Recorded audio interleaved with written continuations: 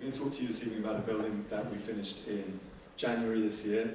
It's a nine-story building, and it's in constructed, constructed got here. So it's entirely from timber. Um, this is my office. This is uh, uh, our office. Uh, this is Waugh Thistleton. This is the cafe opposite my office. This is in fact, um, this is me here, and me here, and me here, and me over there. We're very small office, and we always try and make ourselves look a little bit bigger. This is, this is uh, that's my daughter, and uh, that's actually she's a waitress. so that's that's our Christmas card from a couple of years ago. We are in fact about um, we we sort of vary between about 14 and 20 people, and uh, we've been going 12 years. Came straight out of school and uh, started the office. The work that we've been doing as a practice, we do lots of different work. We you know we started straight from school, so most of the work we did at the beginning was bars and restaurants and loft apartments, everything. But underpinning that kind of work has always been an interest in the environmental effects of, architecture, not just in terms of the effect, the, the amount of energy that our buildings use through, you know, through the kind of like correct orientation, through insulation, through all the things that we all need to do, we all know we need to do, but also through the construction materials that we use and the impact of those construction materials. So looking this is, I plucked this off websites. So concrete production accounts for between 7 and 10% of global carbon dioxide emissions. The concrete lobbying organisations say 7% and uh, Greenpeace say 10%. so I'm not going to make a judgment. It's between 7 and 10% of global emissions. I do know, however, that it's widely accepted that airline travel is 1.6% of global emissions. So then we can see immediately the kind of effect that production of concrete has with regard to, to um, its reliance on fossil fuels for its production. This is, uh, this is the beach in England, so this is a warning to anybody who hasn't been to England not to go. um, and this is, uh, well, at least don't go to the seaside, um, or don't swim. And this is, uh, this is part of our uh, ever-decreasing coastline. That's a, a tree. Um, this is cross-laminated timber. Cross-laminated timber is like jumbo plywood. It's made um, from uh, planks of timber that are about 25 mil thick by about 75 mil wide, any lengths down to about a metre long, and it's finger jointed together, laid out, and then cross-laminated at 90 degrees.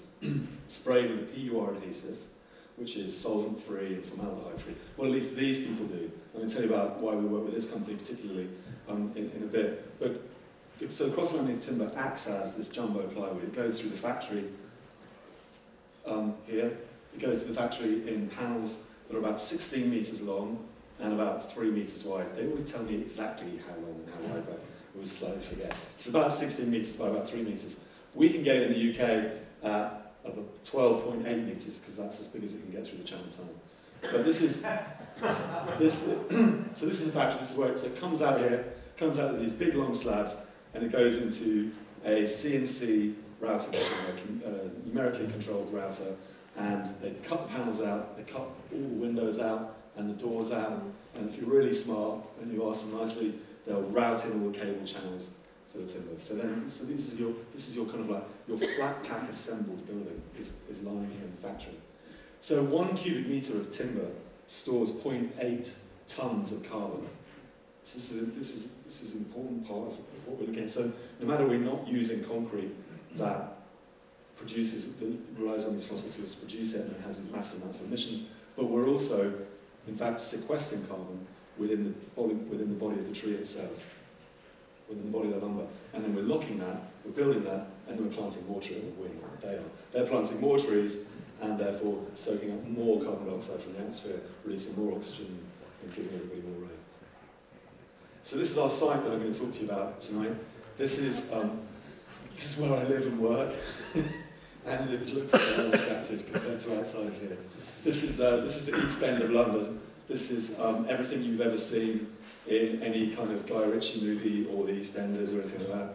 And it's, uh, it's nasty. This is Jack Beard's Castle, which was a pub and where they planned one too many bank robberies and they closed the pub down. And this is our site here. I'm not sure what they've done in colour, but anyway, this is our site here. Um, the surrounding area is uh, predominantly social housing, 1950s concrete frame, brick-clad social housing. Um, the whole area was cleared um, compliments of the Germans in the late 40s, mid-40s, and so then we uh, rebuilt uh, 10 years later this large amounts of social housing. Bizarrely, however, down this street here, about two kilometres down this street here, is St Paul's Cathedral and the whole entire sort of financial district of London. So the land values around here are very high. So we have a situation where the local government is selling off these little sites all over the place to private developers. Private developers pay the local government, and then the local government uses the money to refurbish the adjacent buildings. This is the idea. So the developer buys this plot of land and makes planning application, and the people that sold him the land in the first place deny him planning consent. Which I just love that. So they then denied him planning consent again. And then they came to us. And they thought, okay, damn that, we'll have to do something creative. So they came to us, which is quite cool. So they came to us, and but through these two failed planning applications, the volume of the, the volume of the building was established.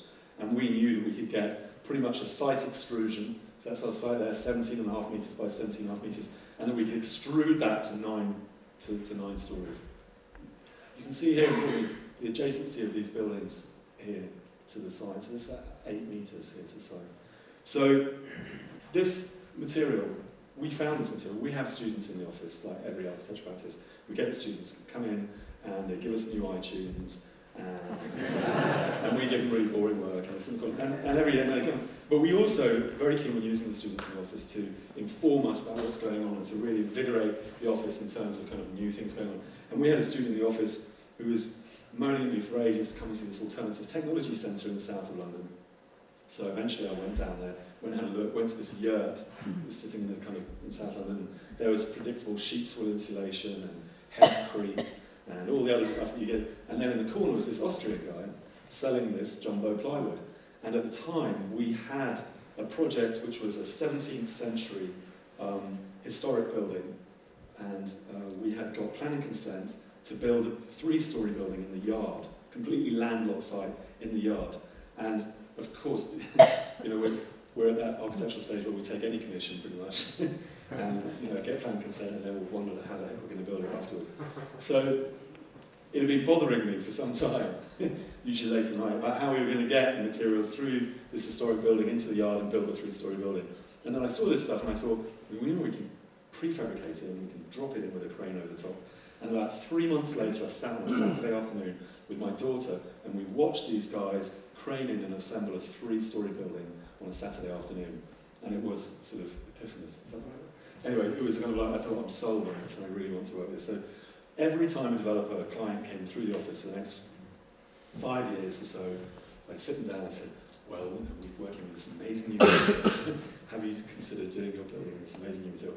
And our argument for this new material became honed, if you like. It became clearer and clearer about how we were going to get our building built with this building. And in this situation, lots of different things conspired to help us there was a shortage of rebar, concrete was expensive because of the Beijing Olympics. There was lots of stuff going on like that that actually made this client sit down and listen to us. I should go back one actually.